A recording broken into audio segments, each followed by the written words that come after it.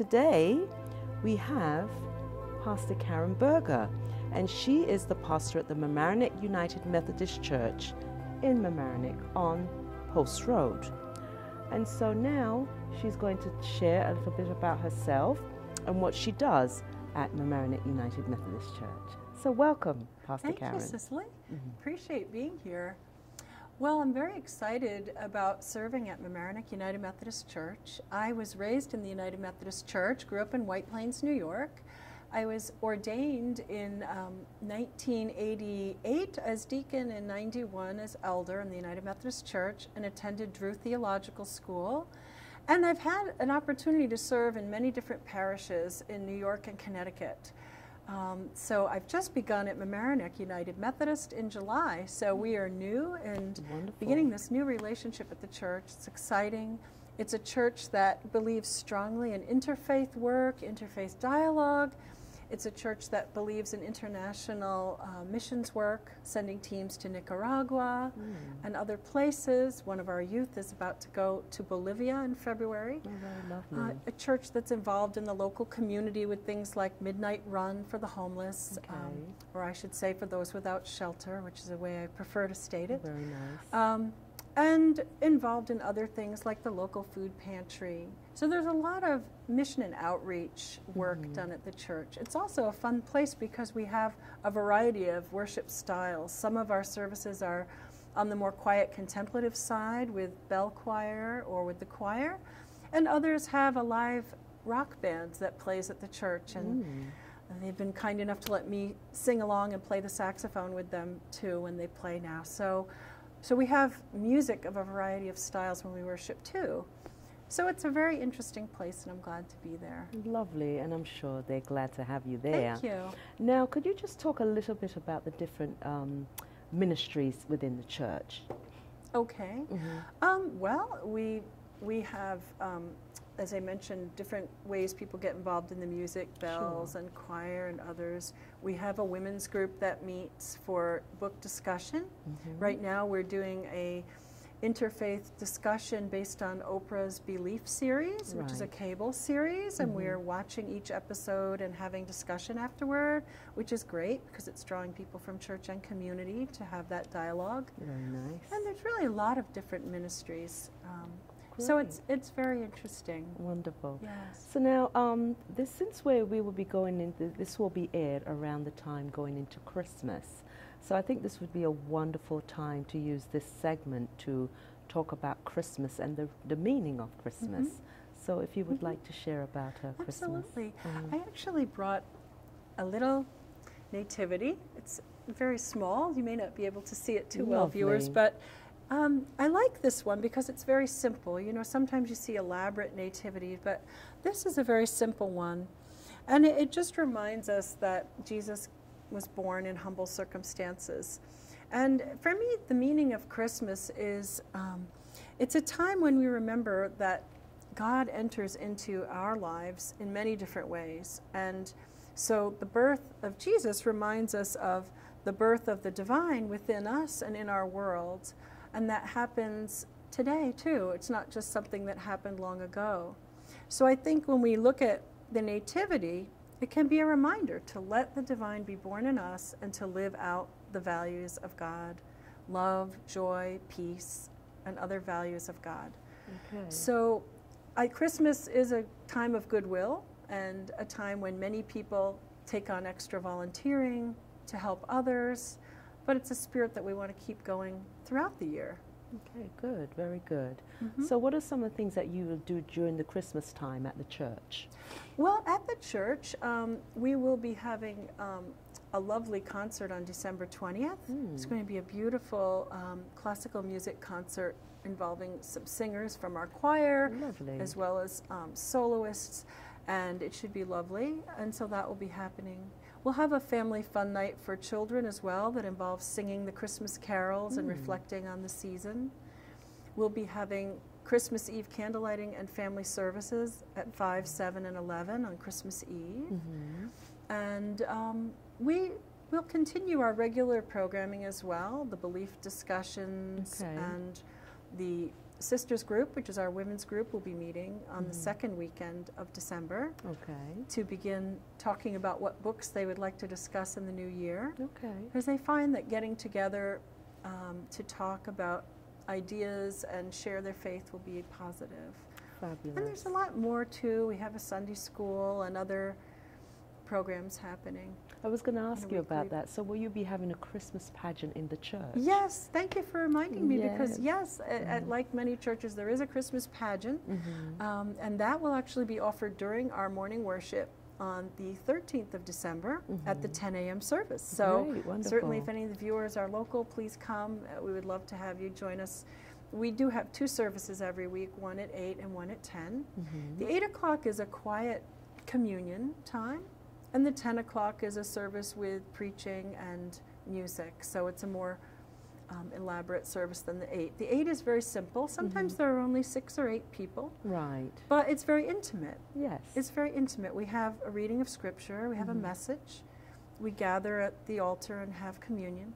And it's for those who want to start their day with that strengthening and spiritual time and then go on. Maybe they have other things later in the day. mm-hmm. And for those who prefer a larger group community experience, we have the 10 o'clock Wonderful. service. Thank you. Mhm. So now I know that you it also airs on LMC TV. Yes. So if you want to share some of the uh, the websites and some of the uh, Oh, links that they can go onto YouTube to get um, Right. to watch it. That's true. Um, Mhm. you can get a taste of our services on our YouTube channel, Mamaroneck United Methodist Church. If you just simply search under the name of our church, Mamaroneck United Methodist, you will see some segments of the 10 o'clock service. Okay. And our website we're very happy about is mamaroneckumc.org. That's easy to remember. Wonderful. So that's the website. Yes. Now, if you if you if they wanted to see it on YouTube, how would they see it on YouTube? So they would just go to youtube.com and then up in the search bar type in Mamaroneck United Methodist Church and Great. it will pop up. Wonderful. Now, is there a phone number if they wanted to reach you to find out more information Oh, about? absolutely. Okay. Yes. Um, 914 Mhm. 698 Okay. 4343. Wonderful. And that'll Great. reach the church. Yes, excellent. Yeah. So now, um, we spoke a little bit about Christmas. What other th- activities go on around that time, apart from the, you know, the uh, Christmas pageant and the lighting and the different components?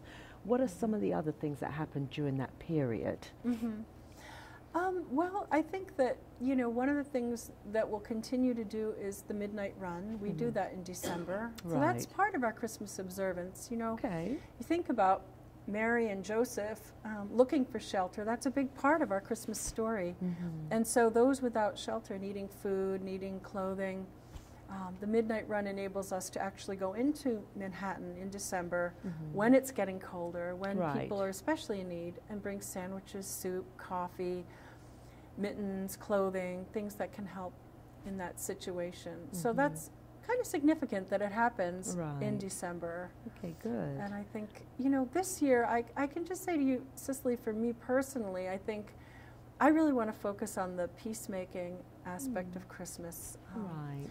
I think that I some of our got lost. carols speak about it. When we Mhm. light the candles on Right. Christmas Eve Mm-hmm. and we sing Silent Night, we're really, we're really praying for peace in the world, the peace of God's presence.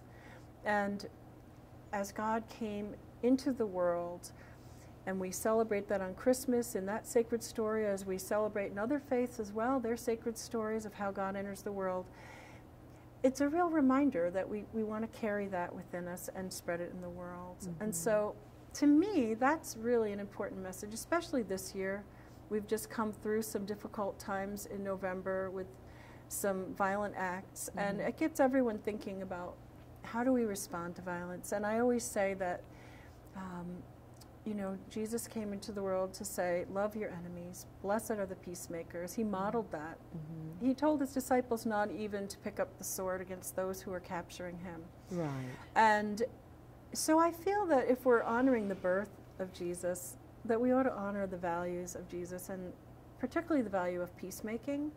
And so I would just encourage that um, in everyone who's listening to think about ways you can be a bridge builder between different groups of people.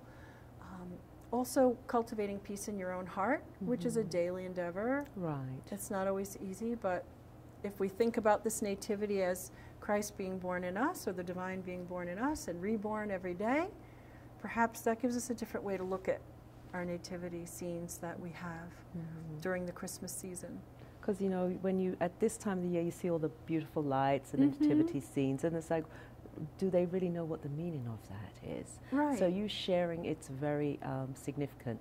So um, as we're getting close to, um, well, not really close to the end of the show, but we're going to have some wonderful music that is going to be done by you, and I think it's Oh, going thank to be great um, to have like some sort of a difference and to have those music that was inspired by yourself and some that you got from the uh, book, you know, the yes, hymn. thank you. So just share a little bit what made you get into that.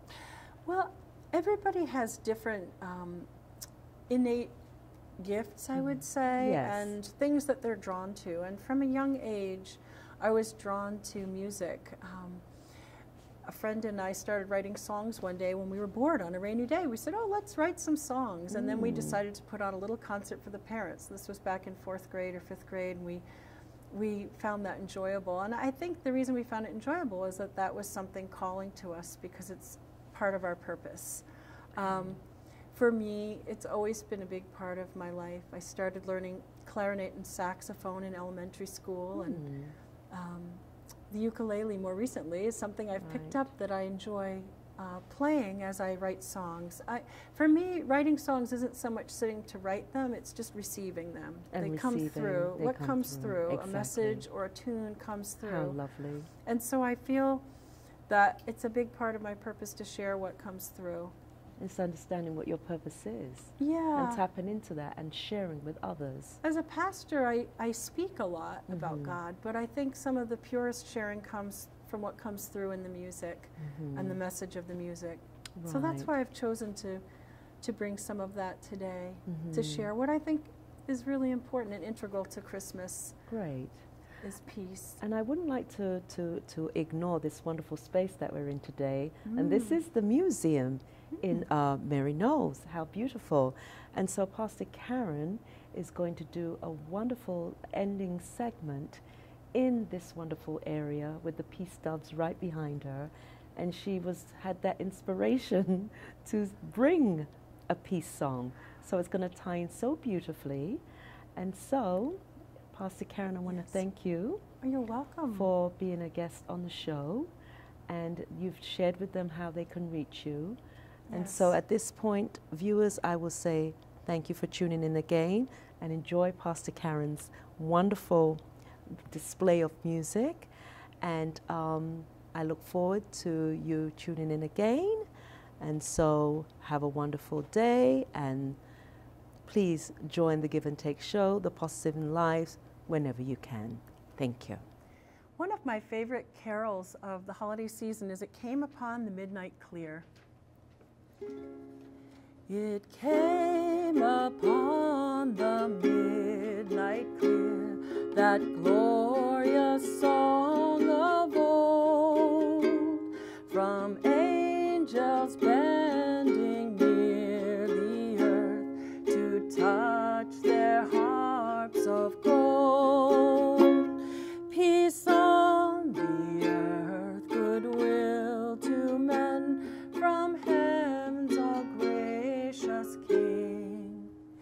The world in solemn stillness lay to hear the angels sing.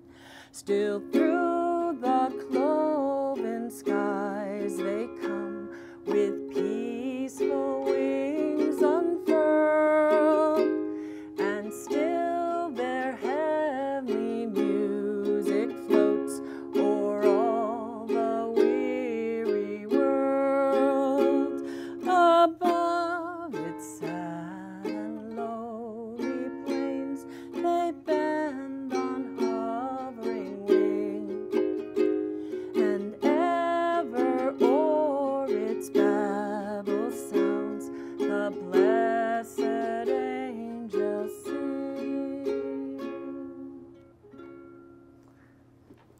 Those are the first two verses, and the other two verses are very beautiful, for they say, For lo, the days are hastening on by prophet seen of old, when with the ever encircling years shall come the time foretold, when peace shall over all the earth its ancient splendors fling, and the whole world send back the song which now the angels sing. That's the final verse. Beautiful message. I want to sing a few now that I wrote. This song called God Made the World was written when I was in fifth grade. And I have to thank the United Methodist clergy and laity that uh, raised me at Memorial Methodist Church in White Plains because I'm sure that their message was getting through to me, and that's how this song came about. God made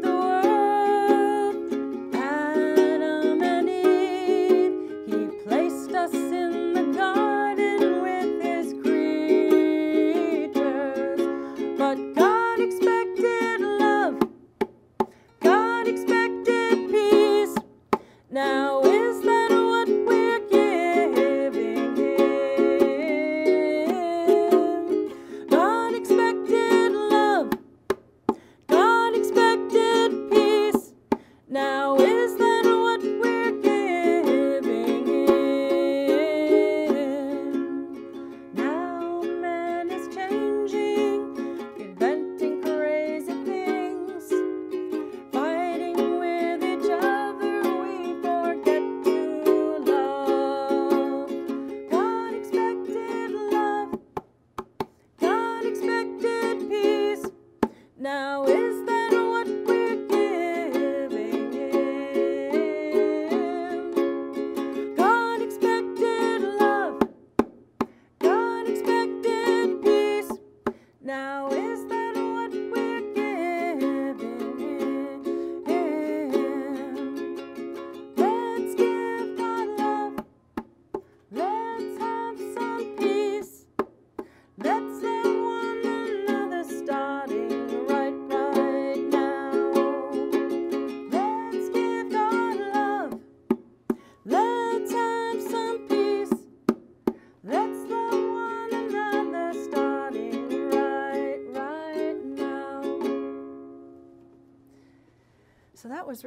1970s, and it seems more relevant than ever, doesn't it?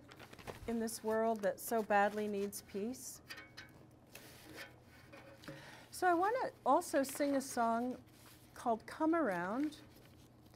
And this song is about the early church and how they tried to live, um, live in peace and live in generosity and compassion and in community.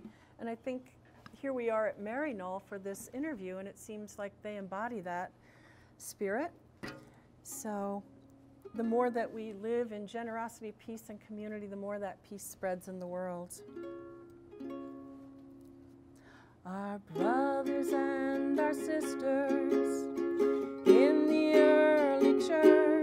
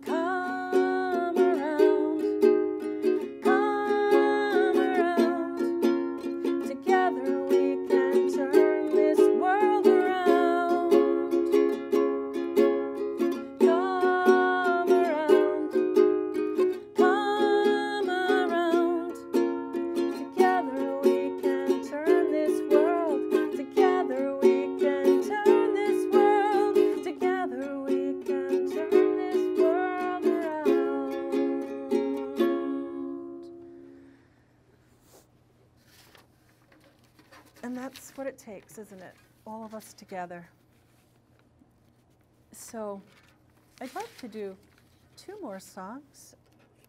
This one's called When Shadows Fall Away into the Light. This one came to me in 2014. When shadows fall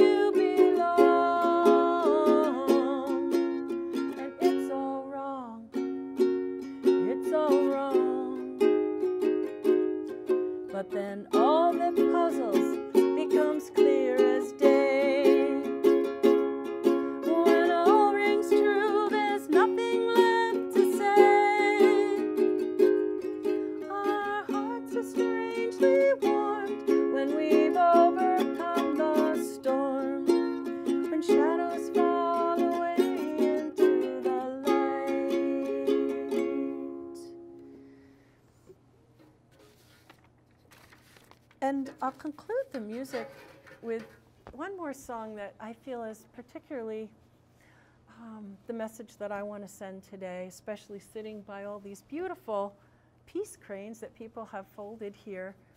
And this one's called Only One Answer, and it really summarizes what I believe about life and what's important. There is only one answer.